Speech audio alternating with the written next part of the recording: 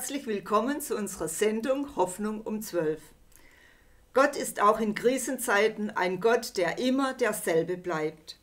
Und viele Menschen erleben gerade seine Hilfe und sein Eingreifen. Und auch heute wollen wir gerne wieder für euch beten.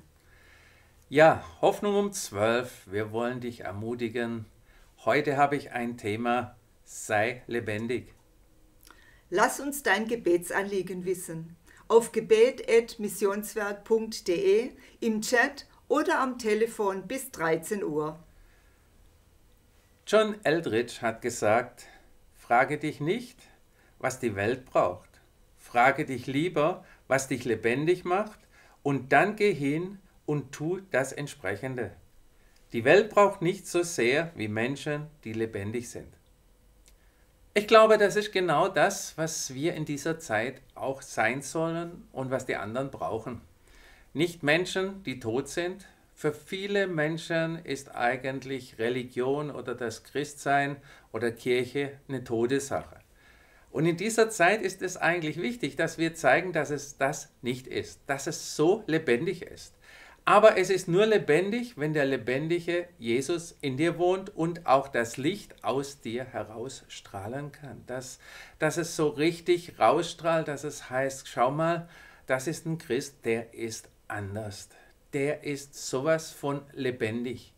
Das heißt nicht, dass wir irgendwo jetzt Blödsinn machen müssen oder durch die Welt rennen müssen oder irgendwelche äh, Kraftakte machen müssen. Nein, sondern das Licht das Lebendige, dass das aus uns rausstrahlt und dass wir wirklich auch den Frieden ausstrahlen. Und es steht ja in Jesaja 60, Vers 1: Steh auf und werde Licht.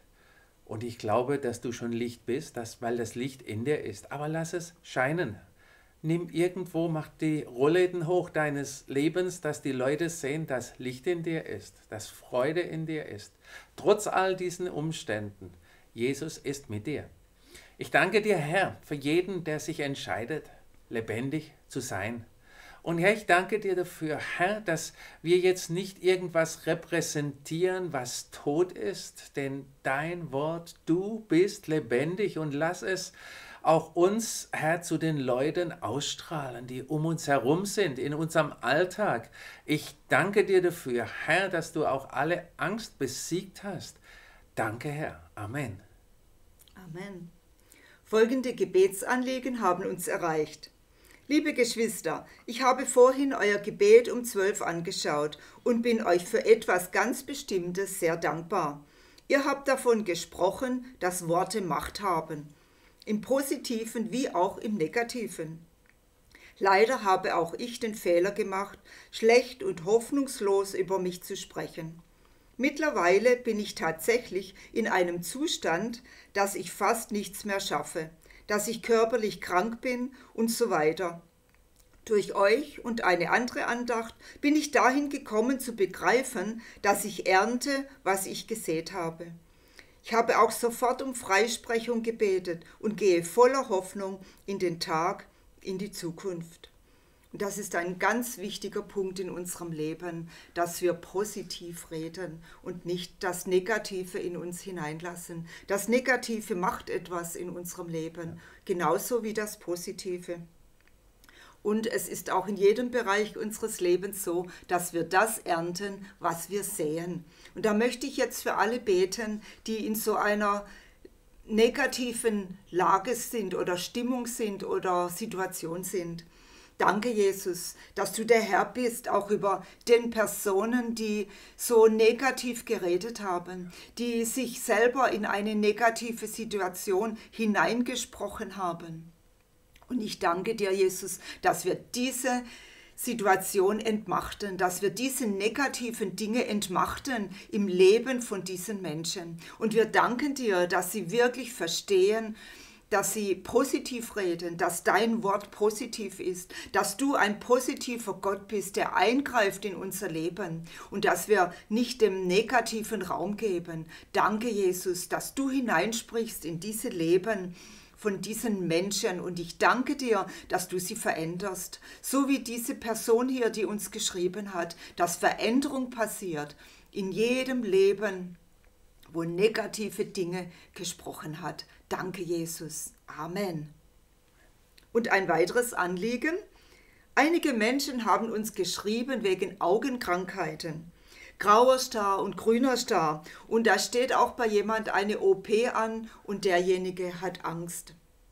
Und Jesus, ich danke dir auch, dass du ein Gott bist, der Augenkrankheiten heilt. Und jeder, der... danke, Jesus, dass du auch ein Gott bist, der Augenkrankheiten heilt. Dass du jetzt mit jedem bist, der davon betroffen ist. Danke, Jesus, dass du Heilung schenkst, dass deine Heilungskraft fließt und dass du auch dieser Person, die uns geschrieben hat, die Angst nimmst vor der OP oder dass du sie vorher schon berührst. Danke, Jesus, dass du ein Gott bist, der bei uns ist, der uns hilft, der uns stärkt und der heilt. Danke, Jesus. Amen. Schreib uns dein Anliegen oder ruf jetzt an. Die Infos sind eingeblendet. Und weitere Gebetsanliegen haben wir erhalten auf Facebook. Mein Mann hat seinen Job verloren und wird am 1.7. arbeitslos. Aber sein Chef will keine Abfindung zahlen. Wir sind vor Gericht und bitte betet, dass er das bekommt, so wie es ihm zusteht. Ich glaube, in der Situation sind viele und sagen, ja, ich auch, ich auch. Und da möchten wir jetzt für alle beten. Danke, Herr dass du jetzt diese Situation kennst, Herr, die rechtliche Situation, aber was es auch mit den Menschen macht. Ich danke dir dafür, Herr, dass bei Arbeitgeber und Arbeitnehmer wirklich Gerechtigkeit herrscht. Herr, jeder, beide Seiten haben schwierige, schwierige Momente, Herr, in dieser Zeit. Ich danke dir dafür, Herr, dass wir die Arbeitgeber segnen dürfen, aber auch die Arbeitnehmer. Und ich danke dir, dass in all dieser Lage, Herr, Gerechtigkeit wirklich herrscht und dass wirklich die Wahrheit auch ans Licht kommt und gelebt wird. Danke, Herr. Amen. Auf Facebook kam ein weiteres Anliegen mit der Bitte um Gebet. Wegen Corona hat mein Mann Kurzarbeit.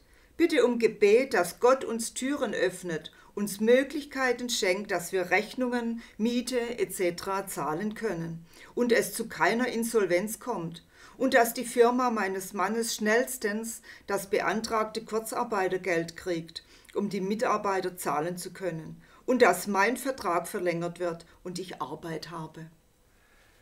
Ja, danke, Herr, genau diese Sache auch, Herr. Danke, Herr, dass du Möglichkeiten hast und Möglichkeiten schaffst, Herr. Herr, die äh, wo, wo wir gar nicht dran denken, Herr, dass Versorgung da ist, dass Weisheit da ist für Entscheidungen. Und ich danke dir dafür, Herr, dass wir auch heute, Herr, jede Firma segnen dürfen. Herr, segnen dürfen auch diejenigen, die jetzt keine Einkünfte haben. Und ich danke dir, Herr, dass du jedem Weisheit, Ruhe schenkst und das richtige Handeln. Ich danke dir. Amen. Amen. Gott tut auch wirklich wunderbare Dinge in dieser Zeit, wie ich schon gesagt habe. Gutes, gute Dinge. Und da kam ein Zeugnis. Aus Argentinien kommt diese Gebetserhörung. Am 12. April hatten wir euch um Gebetshilfe für unsere Schwiegertochter gebeten. Die Geburt stand kurz bevor. Der Ultraschall zeigte Probleme mit der Nabelschnur und ein Kaiserschnitt war nicht auszuschließen. Doch der Herr hat wunderbar eingegriffen. Die Geburt verlief gut, ohne Kaiserschnitt, trotz bestehender Umstände. Danke, Jesus. Gestern, den 22. April, war die Geburt. Es ist ein gesundes Baby. Und wir haben sogar ein Bild von diesem Baby bekommen und es ist gerade eingeblendet. Ein weiteres Anliegen bzw. Gebetserhörung in diesem Fall auf WhatsApp schreibt uns eine Person. Ich würde gerne von meiner Gebetserhörung erzählen. Ich besuche seit vielen Jahren eure Gottesdienste bzw. auch die Gebetsnacht. Da ich sehr weit entfernt wohne, immer mal wieder. Es bereitet mir immer große Freude. Auf einer Gebetsnacht habe ich für mich beten lassen, weil ich seit vielen Jahren an chronischer Blasenentzündung litt. Die Entzündung hatte ich bis zu fünfmal im Jahr und war immer sehr schmerzhaft. Ab dem Tag war alles weg und dafür bin ich dem Herrn sehr dankbar. Und ich möchte noch kurz für alle beten, die auch an Blasenentzündung leiden. Jesus, ich danke dir, dass du bei jedem eingreifst, der jetzt eine Blasenentzündung hat und Probleme mit der Blase. Und ich danke dir, dass du das, was du bei dieser Person getan hast, auch bei allen anderen tun kannst. Und ich danke dir, dass du jetzt eingreifst und dass du Heilung schenkst. Danke, Jesus. Amen. Ja, wenn auch du was, wenn du irgendwie was erlebt hast, was Wunderbares, Kleines oder Großes, nenne es uns auf WhatsApp. Lass es uns wissen. Wir werden es gerne, gerne weiter sagen. Heute der Tipp des Tages. Und was macht dich lebendig? Über das habe ich gerade vorher äh, etwas gesagt. Was macht dich lebendig?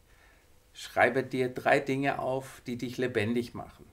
Nicht nur im geistlichen Bereich, wenn du Bibel liest, sondern was macht dich lebendig? Ich zum Beispiel, wenn ich in den Baumarkt komme oder Technik sehe oder Lobpreis, das ist das, was mich lebendig macht, wo ich, wo richtig kribbelt, wo es sich entwickelt, wo ich mir Vorstellungen mache. Und wenn man da lebendig wird, ist man wieder für einen anderen richtig gut drauf. Sag mal, wie siehst denn du aus? Was hast denn du erlebt? Du freust dich so und ich sag dir, habe diese Erlebnisse.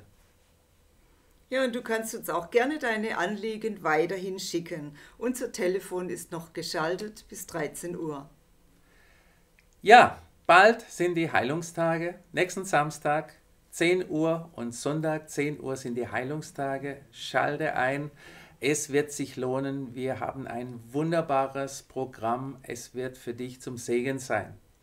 Ich möchte dir heute unser Magazin Freude am Leben empfehlen. Du kannst es gerne, gerne kostenlos abonnieren. Ich zeige dir gerade in diesem kurzen Spot, wie es funktioniert. Kennst du schon unser kostenloses Magazin? Mit hilfreichen Artikeln für dein Leben und vielem mehr. Lass dich jeden Monat neu inspirieren.